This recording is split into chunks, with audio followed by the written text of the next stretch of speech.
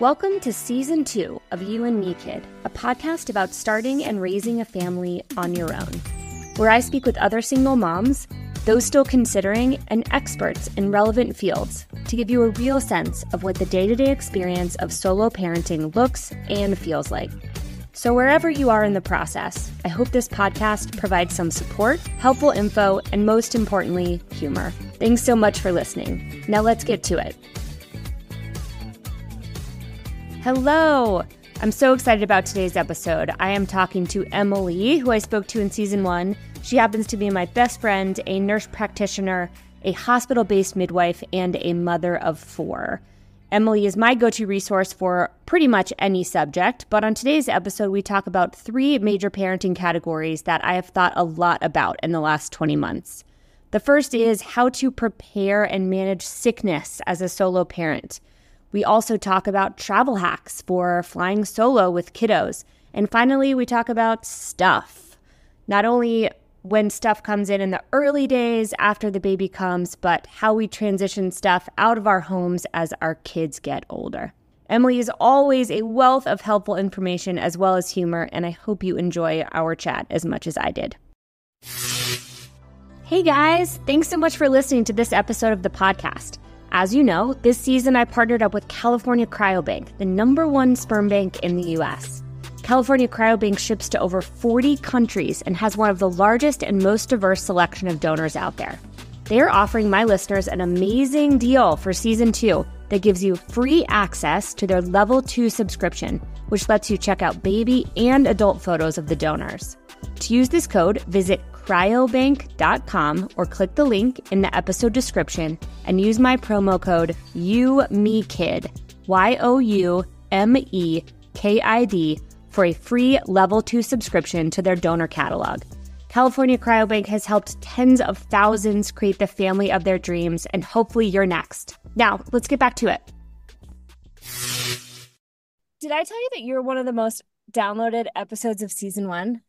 I mean, I'm so floored with that compliment. I almost can't take it. I don't believe it. And it's probably just my mom downloading them on multiple devices. So today I want to talk about three big buckets. These are the three big buckets I think I thought about a lot prior to pursuing single parenthood and had questions about like how I would handle these things. Mm-hmm. Those categories are travel, mm-hmm. sickness, and stuff is bonus category number three. Got it. Okay. These are my three favorite topics in um I'm aware. in addition to my favorite topic, which is reproduction, human reproduction. yeah, which we already talked about. We already talked about. So we're moving on. Great. Okay. We're on we're on to your next three favorite topics. So maybe let's talk about travel first, because this is okay. a question I do actually get quite a bit from people. Going into having a baby, I was nervous the most about security. Like, mm. how do I get a baby through security? And you have helped me really understand that. And we're going to dive into that.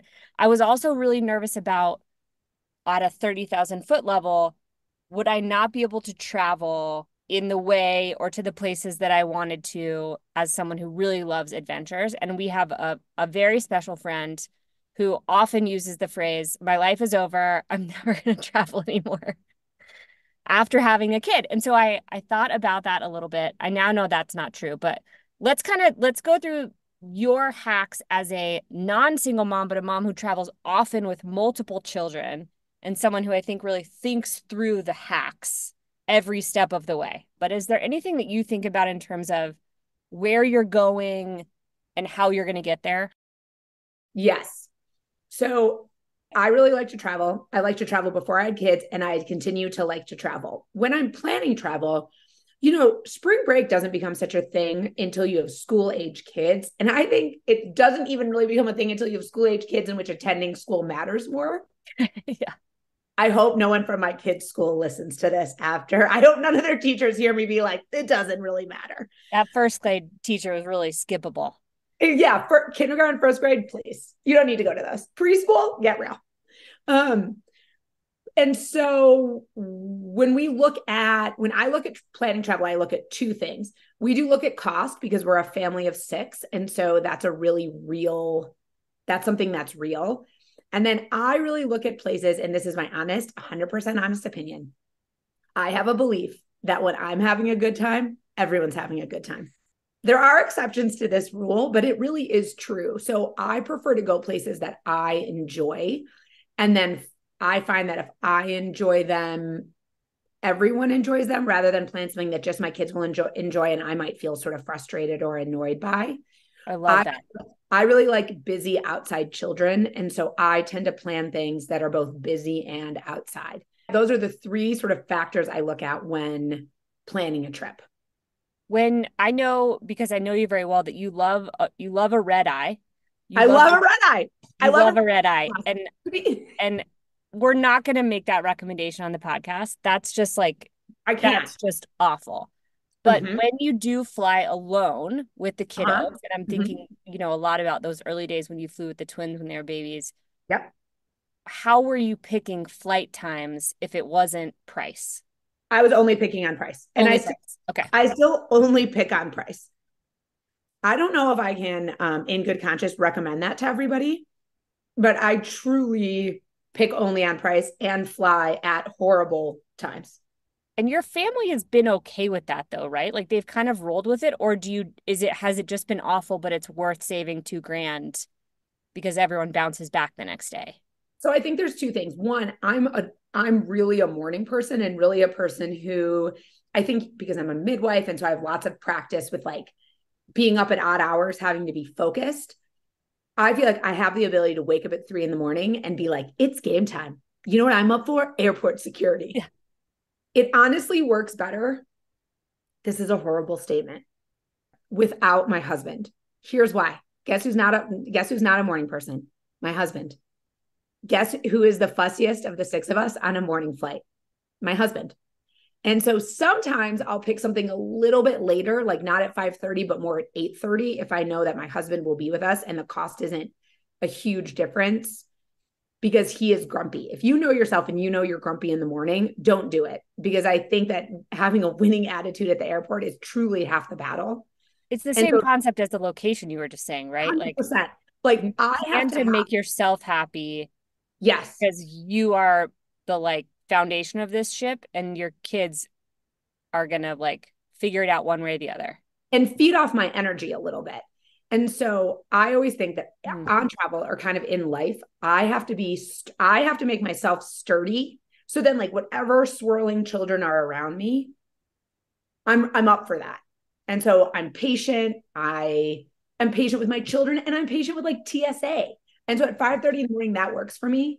It doesn't work for everybody but I just do it purely on cost so that I can stretch our travel budget. God, I really, you've never said that to me, but I really, really love that idea, even Ooh. as it, as it relates to the location. Because mm. I think a lot of the advice I get sometimes, or even not even advice, I was just literally just listening to a podcast the other day where they were going through all these resorts that have childcare. Oh, I don't resort. Right. So I don't either. And so part of my brain was like, oh, that's a great option. And then immediately it was like, wait, that's not that's not the type of travel that I personally enjoy. Mm-hmm. Um, and so I think you make just such a good point, which is like go to the places that like you're gonna enjoy, you're still gonna have a great time, your kids are gonna be like nimble or they're not. There's no way for you to know the difference between like that place you chose A versus like other place. And the flights are kind of the same. Like take care of yourself. That is really what I think. And the other thing is you know, childcare is there are some places I think, especially as a single mom, if you really want to feel after a vacation, your cup filled, if you're a person who really needs like your child to be in the childcare at the resort, so you can like go out on a scuba dive. I don't really know what people do at resorts. Go out on a scuba dive, then you should absolutely do that. It's just not what I like. Yeah, totally. No, I think that's a great point. Okay, my absolute favorite part of this is the day, the travel day hacks. Mm. Let's talk about it. Let me stretch. Pre, going to the airport, what do you, does your kit matter? Have you thought through when you're alone with the kids? Yeah, so I'm flying alone. The, you're flying alone. Do the tools matter? Of like, you know, does the diaper bag matter? Did it back in the day? Mm-hmm. Do you have other little things that you use to like get from home to the airport and make it easier? Yes, I think that's really relevant. So I will, I'm not a single mom. but I will say that I do fly without my husband a lot. One, because he's fussy. Two, as previously discussed. Cut that out. By choice. You're a solo mom traveler by choice. I'm a solo mom traveler by choice. No, it's just the nature of his work and my work that I can take the kids places without him a lot. So I'm going to go, I'm going to think back to when I was flying alone with babies, right? Because that's the majority of your audience, because school age kids are a little bit different. So, yes, I would do a lot of preparing. My, what I always want to do is like not have a lot of clutter with me. So, I want to be like as hands free and mobile as possible.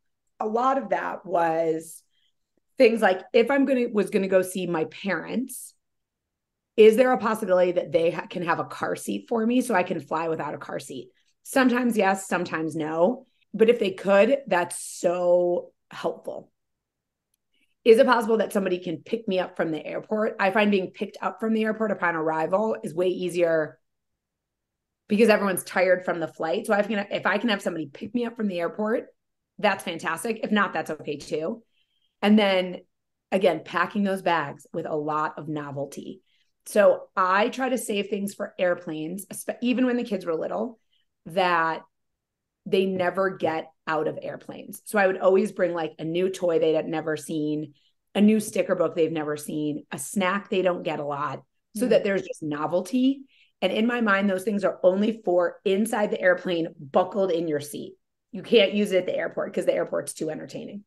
So don't lose your willpower an hour before the flight because no, an hour before that flight, you should only be walking repeatedly on magic sidewalks. And which my kids really like, or they still really like them, honestly. And window shopping at a Hudson News, which is what we do at the airport exclusively. And they love a Hudson News. They make a whole Christmas list there. I love this. Okay. So when you do have to take a car seat, yep and you're alone, mm-hmm. like car to airport, how do you do it? Okay, car to airport. The thing that I always put in my mind is that the car to checking in your flight is the hardest time, in my opinion. Yeah. So I also just kind of gear myself up for that, right? I'm like, this is going to be really unpleasant and I'm going to get through it and it might, and I'm just going to survive it. It's not going to be pretty. It's not going to be efficient. I get nothing fun about anything and there's no way to make it fun. No, and it's interesting because now that I have, you know, my oldest kids are nine, and one of my daughters is always like, I hate security. And I'm always like, it should not be an expectation in your mind that you like security. Yeah. If your favorite part of your trip is security, what a bad trip. So bad we just, trip. that's a bad trip. So we just survived this. She also really, as we've traveled more internationally, she also really hates customs. So we survive this part and we don't have the expectation that it's going to be fun to like get through it. Yeah. And that's how I feel about the car to the, that's actually how I feel about the majority of the travel logistics. So, two things. If you have a baby that's still in a car seat, like the kind you use for two and under, you can either travel with the base or on the bottom of every car seat is this little piece that's shaped like an H that you can use to install a car seat in a car without the base. So if you have the kind of stroller that's just the car seat and you don't want to travel with the base of your car seat, just take that little piece out and make sure you bring it with you. Are we parking at a at a shuttle lot in this scenario? Or yeah, let's make it as hard as possible. Hundred percent. Okay, I get to the shuttle lot. I'm at the airport so far in advance, it's borderline comical. Yep. Six. I mean, like three hours. Six hours. I'm like half a day. I'm there 48 yeah. hours um, same. Right? To get on that airport shuttle, I'm I'm gonna pretend we have a baby. I'm gonna put a baby in a carrier. Okay. And then I'm gonna push my stroller that I'm gonna have in the airport. Ideally, you have a car seat stroller, but maybe not. The reason that I'm gonna do that is because when getting on that shuttle, I really want to be able to be rough with the stroller. You know what I mean? Like jam it up the rail. And it's hard to do that with an actual baby in it. Yeah that's similar to my kid. So I have, and these are things to think about too, I think, when picking a stroller, if you have yes. options, mm-hmm. which is mm-hmm. the car seat that goes right into the stroller, the stroller mm-hmm. base goes down. Some of the cheapest and best strollers have those options. Mm-hmm. And then I will do the same. I'll put all my bags in the base of the stroller, mm-hmm. put Ellie in the car seat, and then put a backpack on if needed, or like that's my diaper bag. And then everything goes away by the time we're on the plane except the diaper bag. I'm with you. I don't want any stuff. I'm not putting something overhead. I'm like, my kit by the time we're sitting in our seat is so streamlined. Yes. The more stuff in your seat, the more hectic your life. That I really, really agree with. The other thing is getting on the shuttle. I really remember this because I used to travel. This is so random, but when my when my twins were between nine months and 18 months, we flew by ourselves like six or seven times for my work. And that was like a very hectic time.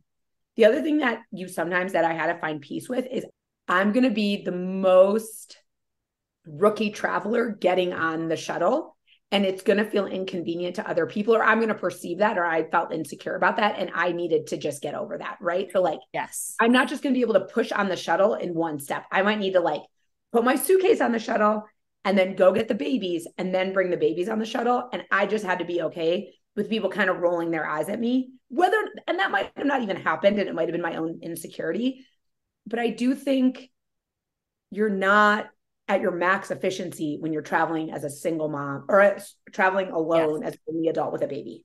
Yeah, which I agree is like a tough transition for very efficient travelers. Yeah. When you pride yourself on your travel efficiency, yes, throw it out the window. Yeah, yeah, throw it out the window. Throw it out okay. the window.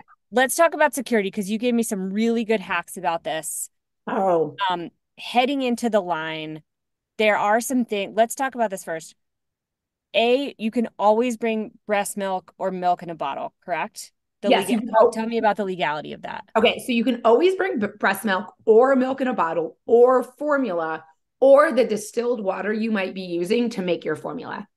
That's all those liquids. Nobody can argue with you. If they argue with you, push back.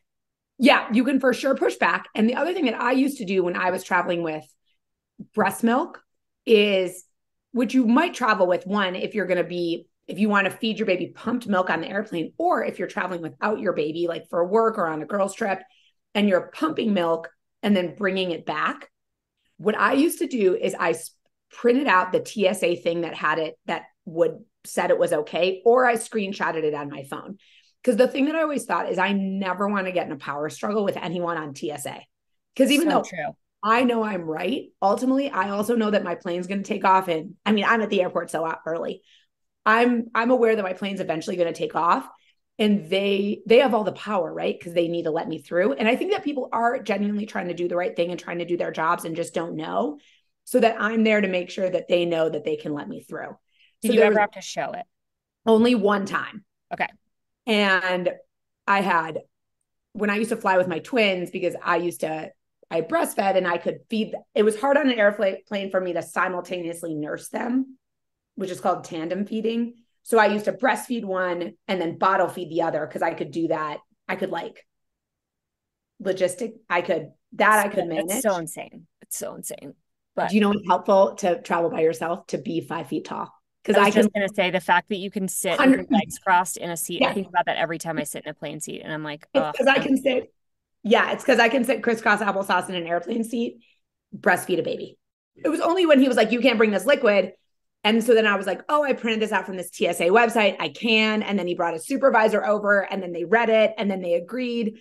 But I just was so grateful that I had that. Yeah. I love that idea as a backup. And it's just like some relief because, like, uh, the first time I walked through, I remember being like, okay, what's going to happen? Like, what questions yes. are they going to ask me? What mm-hmm. are they going to ask me to do that I no longer have hands for? So basically, like, I go into security. This is regardless of my child's age and you figure out the order of operations. So for me, the order of mm-hmm. operations mm-hmm. is based on the buttons. The car seat comes out of the stroller. Um, it goes on the floor, not on the thing, because they'll stop the thing and they'll say baby on the whatever. Yeah. So I put her on the floor. I put the handle down, pull her out, mm-hmm. and I flip the car seat over. It goes, it goes upside down on the thing, and I push it through my stroller does not it doesn't uh shrink down and go into the x-ray it gets rolled through by a tsa person i've never mm-hmm. had anybody question me about it the mm-hmm. one thing that you brought up that i've actually never had anybody ask which is are they ever going to ask if the wheels come off? Tell me about that and what you're allowed to do. This happens. It might be the nature of the stroller. So they sometimes ask if you can break down your stroller and take off the wheels to put it through security. My opinion on that is that that's a no. And yeah. so I just say the wheels don't come off. Here's the thing. Do I know if the wheels come off? I don't know. I've never yeah. tried. And they don't really care, I feel like. Like they just want me through. They don't want to deal with me. I did have someone the last time they looked at the stroller and I I thought that the next question was to be did the wheels come off and he said do you have anyone traveling with you and I said no and I could see his brain be like I'm not going to ask this woman to take the wheels off but if they ask I just say no um and they don't really like they don't want to deal with it either I think but yeah you'll yeah. figure out your system for what happens first I also have to say every single time I've been through security which is quite a bit in the past 20 months somebody offers to help me. And if they didn't, I 100% at this point in my parenting would feel comfortable asking someone to help me if I oh, needed it. Like, hey, yeah. can you just like push these buttons on this? And people are so stoked to be helpful in that, in like what is like just an awful part of your travel journey anyway. I've uh-huh. noticed like everybody, there's somebody in line that has a kid and somebody that knows how your stroller works and they're going to offer to help. So ask yes. for help or say yes to the offer if you need it. It's actually pretty efficient, I thought. I do have TSA pre. I've been through non TSA pre lines and it's like not that big of a deal. You pull your stuff out, no problem. And again, the goal at the end of it is to be back to that back to that very streamlined kit and not have like stuff falling everywhere all over the place. Yes. That's the other thing is I make sure I roll into pre TSA pre-check like ready for pre yeah so like when we get to yes. the airport, my kids know now, like we dump out all our water bottle. I mean, when we before we enter the airport, when we're still outside, eh, water bottles are empty. If you're traveling with a device, like I pre-pull it out. I used to because sometimes because again I had twins, so it was a little tricky. I would always put the baby like in the I would have the carrier on and put the baby in the carrier before I got in line. And then my other hack in terms of asking for help, if there is a eye rolling, huffy traveler behind me, I let them go ahead of me for two reasons. One, I think as kids get older, it models manners. And now sometimes my older kids in line will be like, should we let all these people ahead of us? And now I'm like, no, they're not rolling our eyes and we're actually a finely oiled machine. They're not, but I don't want that added pressure. And so I would just rather let you go ahead of me. Go ahead. Like, and then I think people are sometimes surprised because they were sort of committed to being annoyed with you. And then you could be like, oh my God, go ahead. I have plenty of time. You go. Yeah. Just call the ball. Like, we're a hot mess. This is going to take me a second. Go ahead. Go ahead. Yeah. I haven't really had like any issues, but I'm, I agree with you 100%. It's the mentality of like, I'm not as efficient as I used to be. This yes. is going to take me a second and I might mess up my program. I might forget that this button is this button. And that's 90% of the time the, the case. And that's okay. And I'm just going to be that slow person that used to annoy me back in the day. And it's totally okay. And then on the rare chance that I nail it, like everything's ready to go. I'm not taking anything out. I hit the right buttons. I take the right piece of the thing out in the right time. It's like I've won the mom game. 100%. And I, I assume people are looking at me like, she's a pro. She's a pro. Here's another thing if you have a toddler sometimes toddlers have trouble when you have to put their backpack, like when a toddler becomes attached to their backpack on security, because it feels like you're taking it away. So then that happened to me once, and I've seen it happen to other parents in the airport. So now when we're standing in line, we and the day before, I'm like, now remember, we go through the security. They're the ones who keep us safe. We're gonna take your backpack off, and then we like practice putting it on a table, and then you'll get it back at the end. So that it doesn't feel like the toddler has a backpack filled with all their most prized possessions. This is when they're old enough to be aware of their backpack, like 18 yeah. months to three, that then you're being like, give it to this man. And they're like, absolutely not. Yeah. And you're already in a crowd. I'm just turning the corner of my child being able to understand some of those preset expectations. Oh, yeah. So, because you're there so early, you have the time to be like, here's what's going to happen. And I don't know if my child totally gets it, but I like that I'm telling her that Yes. like, you know, we got it. We're going to wait in a line for a second. Like, I know this is hard, blah, blah, blah. And it, hel- it helps me just as much as it helps her, right? You're kind of like telling them what you need to tell your own brain. But it hasn't been at all as hard as I thought it would be security. And then in Denver, we of course have like the train and the shuttles and like it's it's a whole hoopla. The yeah. one other thing I would say too, and I'm I'm assuming you do this, is that planning your bag and the kit for security then in my world gets revamped for the flight. So mm. while we're in the gate, when I had a little baby because I didn't breastfeed, I then revamped so like then the bottle gets made and it gets put in the oh, yes. bag. Totally. Like the pacifier is like easy to pull out. So I would I got a different bag thanks to you that I felt like I could get stuff out of when it was under the seat in front of me while holding a baby and like bottles just needed water from the flight attendant. Right? I didn't have to like pour the formula whatever, so those were ready to go. That felt really good and efficient. And then anything I was going to need with her like if she was going to fall asleep, I needed like a jacket or a blanket or something for her head was ready to pull out or I could put in the little net thing prior to me sitting down. Yes, that is a, that's exactly what I do. I don't travel with again, I always I check bags. I pay to check bags because I don't want it with me in the airport. Um, and then I make everything. This is exactly what you're saying within arm's reach because in the hopefully a baby's gonna fall asleep on top of me. And there's no worse feeling than being like, I either have to wake up this baby Yes. I can I can reach my earbuds, but then I have to wake up this baby. And which one do I want more? And then just like sitting silently on a plane for two hours is actually kind of hard. Yeah. And I mean, I think the expectations I've learned too, because my kiddo used to sleep like off and on on the plane before, but now she's old enough where all the beeping and the announcements wake her up. Yeah. And it's a similar type of expectation, I think, which is like, this is going to be hard. If it's yes. not hard, what a win what a win. It's likely going to be hard. Yes. And like I've gotten stuck on the tarmac for five hours. I've like I've gone through some travel challenges and it's just difficult. But as you would say, and I think about this all the time, it's like that plane is gonna land, like it's gonna be over and you just have to get through it. And yeah. that's true. It's gonna be over and you just have to get through it. And then I would say most of the time it goes better than my brain assumed it would go. Yes. And then we're walking out of the airport and someone's picking us up and we're like, nailed it or didn't mm-hmm. nail it, but like it's over. It's over. It's, it's over. over. And we're in a, the place that we wanted to go. And like that was worth going to the place and seeing people or having an adventure or whatever. It's always worth it. Even the day we spent five hours on the tarmac. I will say the day we did spend five hours on the tarmac, all the families bonded together. Yeah. Because it sucked for everybody. Um, I turned on the screen. There was no sound. My child like binge screen time no big deal. And then all the families, we boarded and offboarded the plane twice in those five hours. And mm. we like got a glass of wine together. Like the families, like just kind of like bonded, like people were sharing snacks. There are some light sides of humanity, I think, in those harder moments. Yes, I really do think that. Yeah. Um, okay, last part about travel, and then I want to switch to sickness. In terms of getting there, yeah.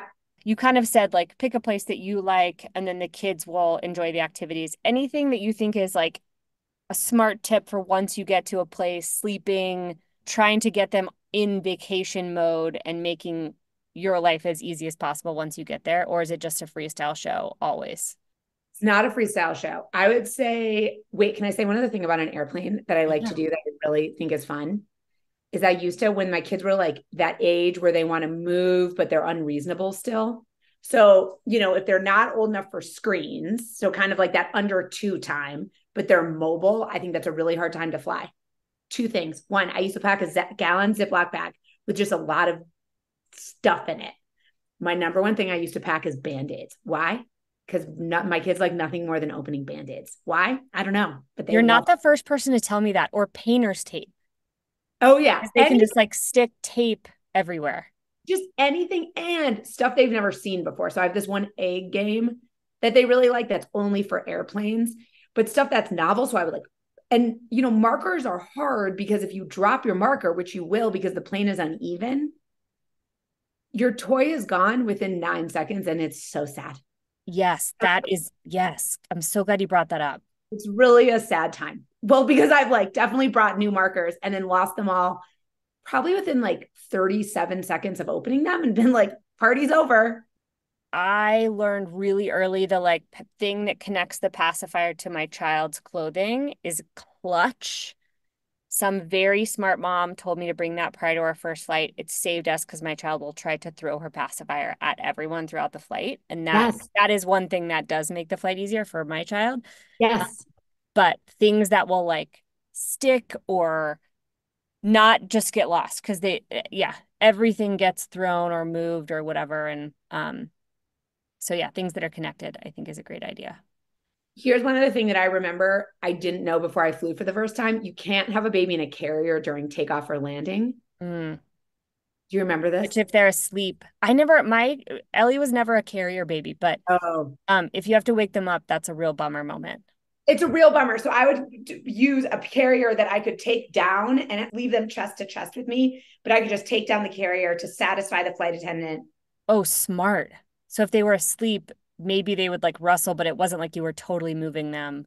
Yeah. So like I used to wear my babies in Mobies a lot. Remember those big wraps? And then those you really can't undo and redo. With a something like a Bjorn or an Ergo, you can unclip it so they're not in it anymore, but they you don't have to move their position. Oh, I love that hack. Okay. when you get to a place, well, I I do want to run through one thing. My very very first flight, the flight lost my car seat.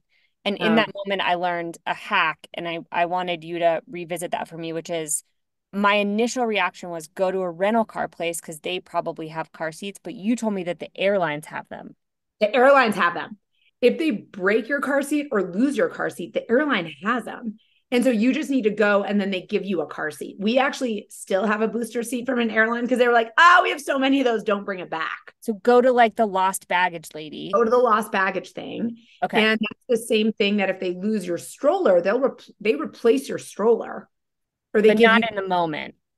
The stroller they don't the car seat they have to give you because you can't the leave. Car seat they have to re- they have to give you a car seat. And then so, you can rent car seats with car rentals, correct? You can rent car seats with car rentals. You can um for like a pretty nominal fee. So you can rent car seats with car rentals. And if they break anything, just make sure you fill out the little form so that they give you money for it. Okay. Here's the thing I just learned, which is interesting and a bit terrifying, is in Europe, car seats are not required and US car seats don't meet the standards of European car seats. So they you can't take them. So anyway, I need to look into the legalities of that before I go to Europe. But there's some weird like car seats and taxi things in Europe that one should look into. Yes, yes. Okay, yeah, that was that was a moment where I was like, "Oh, I didn't think about what to do here," but that's super helpful. So airlines have car seats and then when you get to a place in terms of getting your kids on the new program, is there anything that you do? I would say the only other thing I do is set my expectation that our first night of sleep in a new place usually isn't awesome. And so the only reason I do that is it just helps me. A lot of my parenting hacks are about like keeping me emotionally stable yeah. so that it's not the first night of vacation when everyone, what my kids tend to do, all four of them, is they wake up really early on vacation the first night.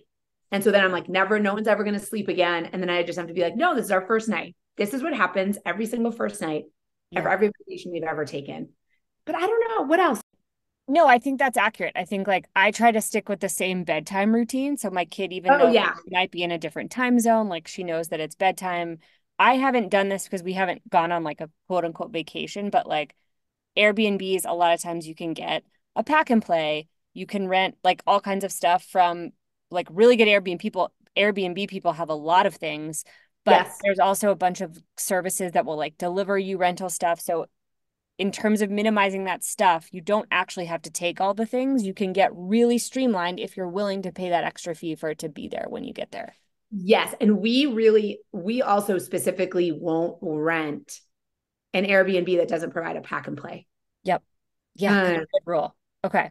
It just, there's so many Airbnbs. It's rare that you're like, this is the only Airbnb in San Francisco.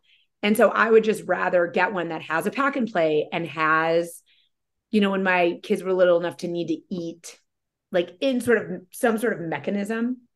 Yes. That had a high chair. Yeah. And that just made my life easier. Yeah. And you don't have to pack all the things. Yeah. yeah okay. Also, I want a family friendly Airbnb that also has plastic cups so that I'm not serving my child out of like their Wine goblet. yeah. That yeah. feels so stressful to me because I don't want them to break the Airbnb. Yeah. Ellie got RSV when she was four months old. We hadn't had a sickness prior to that. So I hadn't really thought about a lot of things and we figured it out. But I remember making a call to you, and I want to start with this, which is this call actually happened with my preeclampsia, but we can put that aside for a second, which was I don't remember this call, so I can't wait to hear what it was. Well, well, I remember very clearly thinking in my head when I was having preeclampsia, my first night home from the hospital, which was I can't breathe. I said just go to the gas station and get one of those like oxygen things that they give oh. out at oh. ski resorts. Okay, I for sure remember that call that you're like, yeah. "Hey, I can't breathe and my heart is racing. I yeah. might just get an oxygen tank and swing by an urgent care, like yeah. attached inside of a inside of a King Soopers grocery store." And I said, "It's a hard no." I said no. So let me so let's break this down because I think this is really helpful. And I still like I still think about this. Okay. Talk me through if you do need additional support, if this isn't something you can do in your home, and we'll talk about the home stuff in a second. Sure. When you go to an urgent care, when do you go to a hospital, when do you call an ambulance? Ooh, good call. The first thing I have to say, because this you say this on all podcasts, even though I'm a medical, even though I'm a medical practitioner, I'm not anyone's listening medical practitioner. There's this doesn't count as medical advice, and please seek the help of a trusted medical professional. Now, moving on from that. Well done. I think that they're like in terms of what are warning signs that you want to like the scary stuff, big red flags. Yeah. It's a little bit age dependent and kids under 1 are more vulnerable than kids over 1. So kids just get sturdier and hardier as they get older. Um and so for kids under 1, I would say that any difficulty breathing, like if your baby looks like it's laboring to breathe, how a baby looks when they're laboring to breathe is you can see them sucking in at their ribs. The medical word for it is retracting. And if you Google image it or Google YouTubed it, you'll see a thousand images of it. And then also if they're breathing noisy. So a baby shouldn't make noise on inspiration, like that's called inspiratory stridor. That's a reason to go to an ER here I think are great reasons for urgent cares. I would take a kid to an urgent care if I had something that I thought needed antibiotics. And I need, and you have to show that in order to get treatment. So the majority of, you know, every kid gets six to eight colds a year. Those are usually during the winter months. So most babies are getting a cold a month in their first three years of life.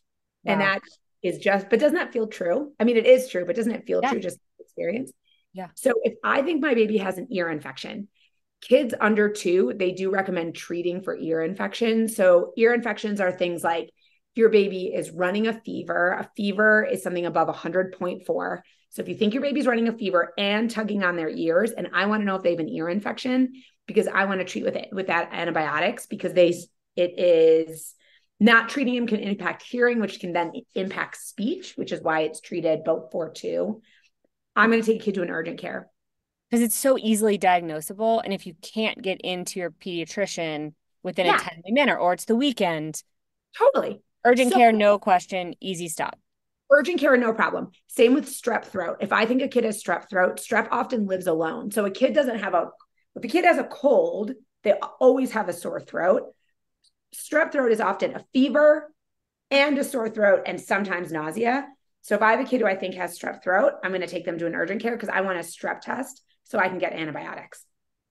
Great. Okay. What about like cuts, like little stuff like that? Urgent care is fine. They can do stitches. Yeah, urgent care can do fine. People have different opinions if there's something on the face, mm. um, because sometimes you want to. There are some people who would prefer to have something on the face repaired by a plastic surgeon so it doesn't scar. Um, that's a little parent dependent. So if you want, if you have a kid with a big cut on their face and you want it to not scar, then you often should take them to a children's hospital where they can have a pediatric plastic surgeon sew it. A kid with like a big gash on their arm that didn't stop bleeding and you thought needed stitches, so really deep, that would be a reason to take them in. And then probably if I thought a kid had a broken bone, I would take them to an ER because I would want it. I would want it. I would want someplace that I know I could get an X-ray. And you can't get an X-ray in urgent care it depends on the urgent care, but I would want to go someplace where I know that I can get a pediatric ortho yeah. person. Got it. Got it. Okay.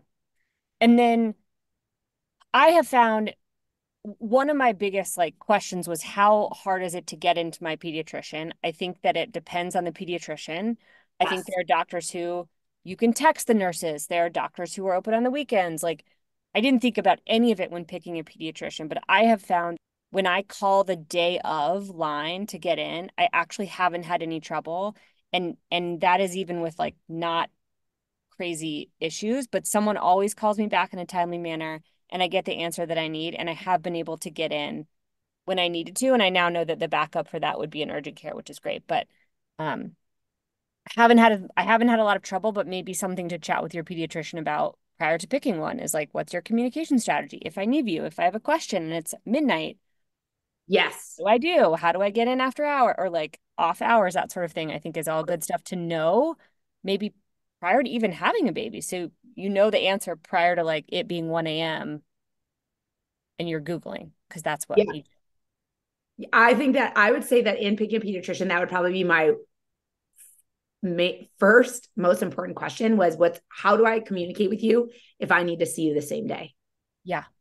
And I you you made this point to me really early when when Ellie had uh, RSV, which is like and at that point the entire world had RSV and there was I think an 8-hour wait at our pediatric hospital and you made a great point which is you have a 4-month-old baby and if she can't breathe like you're not going to have to advocate that hard when you get to the ER. Like if you tell them those things, if you're clear about my baby's not breathing, she's four months old, they're going to help move that process forward. Just get her there. And that yes. gave me some relief that they would be able to prioritize it. We wouldn't yes. just like get put in a queue, which is what I thought would happen. Oh, yeah. No, there's at every pediatric ER, at every ER in the world, there's someone who works triage which you when you go up to the line like determines the order in which you'll be seen. And a baby that can't breathe is at the top of the list. Yeah. And the i think that it's smart for us to focus on that first year because i do feel like even after six months i have a pretty good sense of is she yeah. sick? Is she not sick? Does she have a fever? Does she not have a fever? Like you just kind of figure out pretty quickly. But those early days i wasn't always especially going through something like rsv so early yeah. I was a little bit like, ooh, what do I do here? Is this a hospital thing? Is it not? And I that was one of those moments where I was like, I didn't even want a partner there to like help with it. It was more like, hey, she's crying. It would be nice to have somebody in the car with me if I'm driving to a doctor, like to hold her, or if it's a respiratory thing, like I'm driving and she's in the back.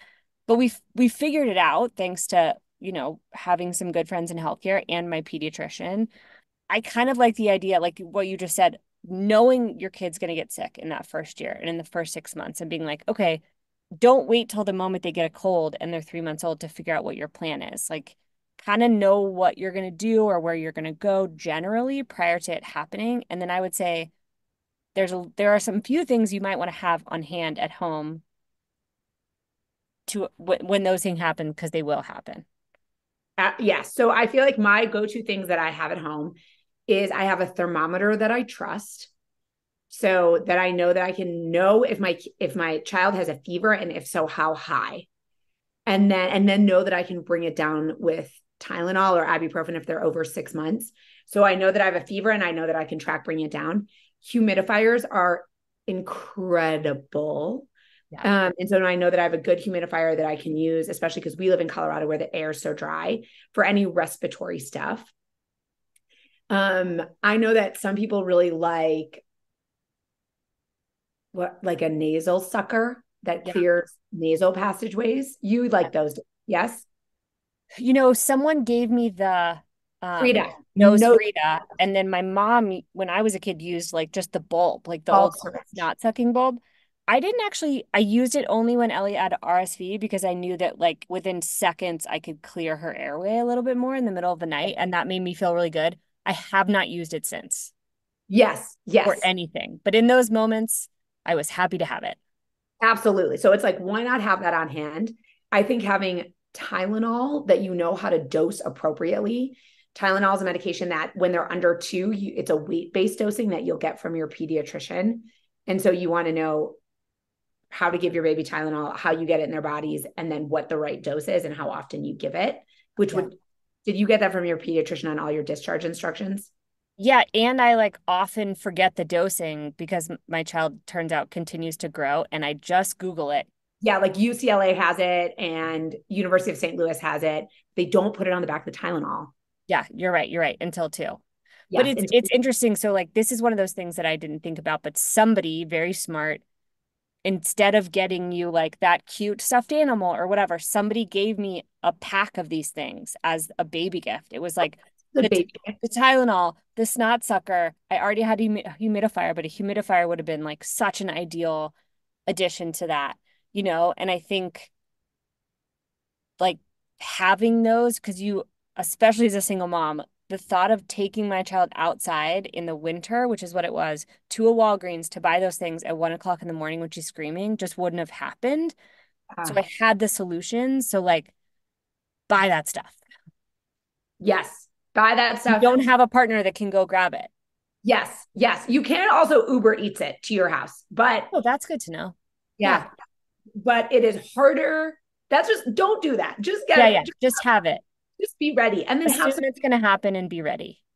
Yeah. And then the other thing that i think is important that i found really stressful especially when my babies were little because i was always surprised that they got sick and i don't know why because i knew that they would is what's your work plan? Like do you have the kind of like how do you call in sick to work? Great point. And what's your if you have a nanny what's your what's your nanny's comfort with a sick kid what's your daycare's comfort with a sick kid, which will probably be zero. And so if you have a kid in daycare and you can't take them to work, sort of like what's the plan for that? So that the first time your baby's sick, you're not also trying to have a conversation with a nanny or a boss being like, I have a sick kid. What do I do? Yeah. So I want to talk about fevers just for a second because you oh, did hit on colds. I think that colds, I don't know, I feel like they're just a little bit more obvious in terms of like turn on the humidifier, give them some Tylenol. Fevers felt a little bit more stressful to me because my baby's level of discomfort was higher and it's just a little bit scarier. And there's so much subjectivity between me, my childcare, and uh, the medical community about what a fever is. So, talk to me about fevers in the first year and what is scary and what is not. So I can only speak for the medical community. That's fine. I like them. Not speak for the opinion of your daycare. Well, My daycare has different rules. Yeah. yeah. So a fever is above a hundred point four. So one zero zero point four. That's 38 degrees Celsius. Anything below that is not a fever. Okay. That is that's yes. even if your daycare says it is. Even if that your is, daycare. that is one of the things also I think, you know, this gets in a little bit later, but I started my child at daycare at four months, like the first day of the fourth month. So basically three, yeah. three months. And I didn't read through in the packet, which I had signed a year before at that point, the rules around sickness and what the timeframes were. And so I had to go back and reference it in the moment, which of course, like as a single parent who like isn't much of a like I'm not a super like stressed out person, but there's just no capacity in those moments when you have a sick baby that's crying that you're holding to seek out a lot of information. And Great so point having it and your brain like postpartum like my brain just like couldn't process a lot of stuff at a lot of speed. So having that stuff either available or a friend um, to text I think was really really helpful or a pediatrician to text, but I think um, finding that was really difficult for me. And I had a couple tough moments where I took her and then the rules were explained to me either in the moment while I was dropping her off or after I dropped her off.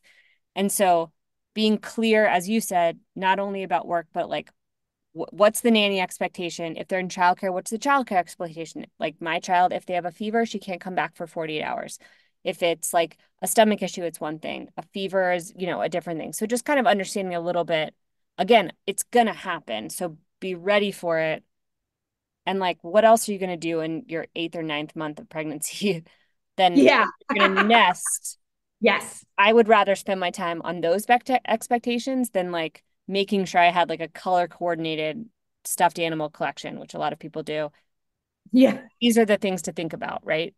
Totally. And I, when we've hired babysitters or nannies, from it, what one of the things we've learned is sort of like how I don't go to an Airbnb that doesn't have a pack and play. I don't hire a nanny who's not comfortable taking care of some degree of sick child.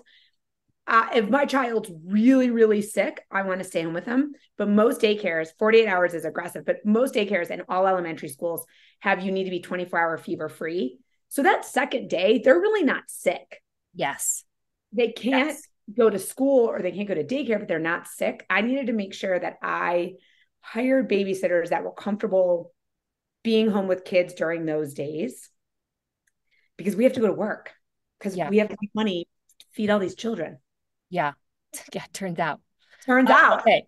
I want to ask you one question about stuff before we get there because I know we're at time, but anything else that you would say for like to think about new parents, young babies in sickness, to hmm. just kind of expect what is going to happen?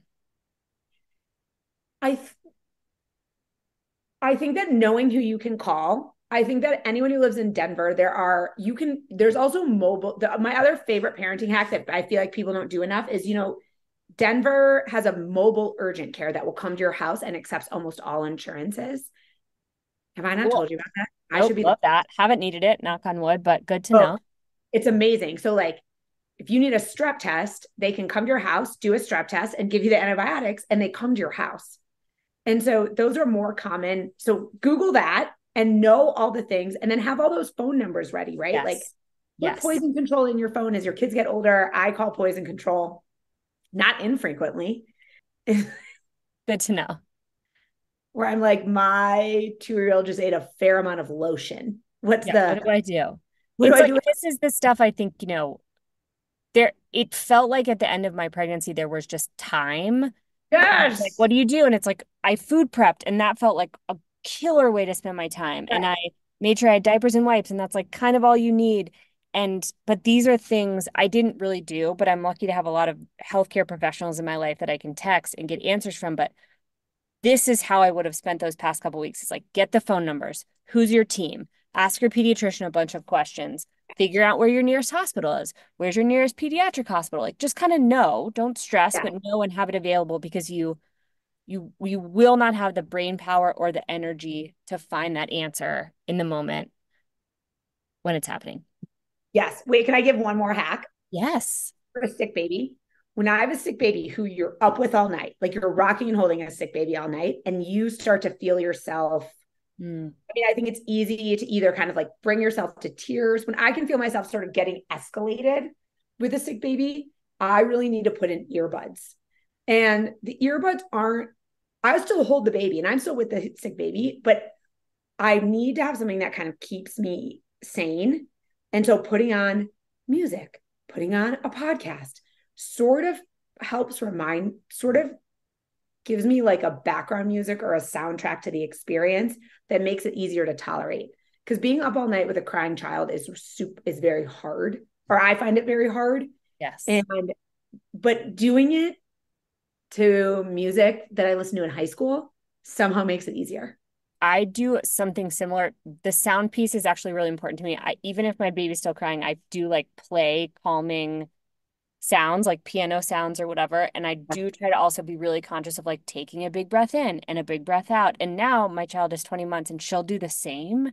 Yeah. Really like and there have absolutely been times where I've put her in the crib and I've just taken a break and walked outside. Absolutely. Like, I, I did this 2 weeks ago. Like baby was crying. I was stressed. It'd been a really long night. And I literally like put her in the crib, tried to forget the fact that my neighbors were probably awake, which is the biggest thing I've had to come to terms with with being a mom. And I just like went outside for two minutes and like breathed in cold air for a second. And then I went back and refresh. And it is, I, I love that you said that tip because I think that's huge. Okay. Stuff. I hate you stuff. In, you hate stuff. I hate I stuff. stuff. Incredibly good at keeping stuff at a minimum with four kids. I think there's one thing that I wanted to mention, which is like, I was about to say, don't take all the stuff that people like are giving you gift wise. Be very specific about what you put on a registry. And I would say those medicines and stuff that we just talked about, like put that on the registry. Put like nursing bras on the registry. Like it doesn't have to be all cute, helpful stuff because you want to minimize the amount of things coming into your space. The other thing that is the flip side of that, that I would say is if people are offering you hand me downs, I mm-hmm. have said yes to every single thing someone has offered me because I don't know what my kid's going to want and I don't know what they're going to need. And that has actually been helpful. So that's like a oxymoronic. Two things can be true. Turns out, turns out both those things are true. I don't know what to tell you. That say yes to say yes to everything free, but be very specific about your registry and the things that the gifts that are coming in. And then tell me how you do the like once the things start to build and the kid gets bigger and there's toys and they're like, do you do a one in, one out? Like, how do you manage it? One in, one out is great. We don't do that. There's a couple things that I feel like this, I'm like, oh my God, don't, I'm embarrassed to say all these things out loud. Well, we both I, live in like fairly small spaces. I think do. for the size of our families, I live in a two bedroom condo. Yes. And like, so it's a big part of my sanity. Yes. And stuff makes me feel so I don't like clutter is really hard for me. So a couple things. One, around Christmas and birthdays, we at we tend to ask our relatives who want to give our kids things, and we love that for experiences. We did that since the kids were really, really little. Um, like give us a membership to the children's museum, give us a membership to the zoo, give us a membership to whatever. Yeah. And and now that they're older, they'll be like, give them a cooking class, give them a what gymnastics and that helps cut down the stuff. The other thing is that there are, whenever we throw birthday parties, we ask them to be no gift birthday parties. One, because I just want to focus on like bringing the people together and hosting something fun and not add that stress for people on bringing a gift. Um, and then we do we do tend to if we're giving gifts that i know are not a great fit for my child i do tend to sort of store them in a way that then I can use that I re-gift them at other birthday parties. That is true. Yeah. Sorry, listening who's I've ever attended your child's birthday party. It was something regifted. I don't think people care. And you know what? The other day I got invited to a party that was like gifts, and I was like, I'm not going to bring a gift. Just like I don't buy gifts for weddings because I'm like, if I go to your wedding, I'm not buying you a gift. And if you're mad at me about it, we're probably not friends anyway. Yeah, it's a, it's just so like, yeah, I'm not bringing gifts to, yeah. The other thing that I do is especially when my kid, when my babies were little and so they grow faster, so sort of like the rate of growth slows down as they get older is I next I would keep in their room or in my bedroom because it's very all very close a box that was for goodwill. So as soon as they put on something and I, I couldn't get it over their head because I put it in the goodwill box or with my older kids I put it in the um, save for the next child box so that I got it out of the way. Cause sometimes like yes. those things can end up back in the laundry or I'll throw it on the floor because I'm like, oh, I need to file this away. And then I don't. And I just keep washing it and having them try to put it on indefinitely. And yeah. so I always have that goodwill box going. I still always have a goodwill box going. And so if I'm like, okay, we've grown out of this puzzle, this doesn't fit anymore, that I have something that we can give away. Yeah. Oh, I love it. This was so helpful for me, even though I get to talk to you all the time. Oh. You're the best. Thanks so much for listening to today's episode. I hope you enjoyed it. For more information about the podcast or me, go to youandmekidpod.com. See you soon. Thank you for listening to this episode. If you or your company are looking to jump into the podcast world, now is the time. The Plug Agency is here to connect you to the full power of podcasting. You just record and leave the rest to us. The people are listening and want to hear from you. Theplug-agency.com. That's theplug-agency.com. Click the link in the episode description for an exclusive offer.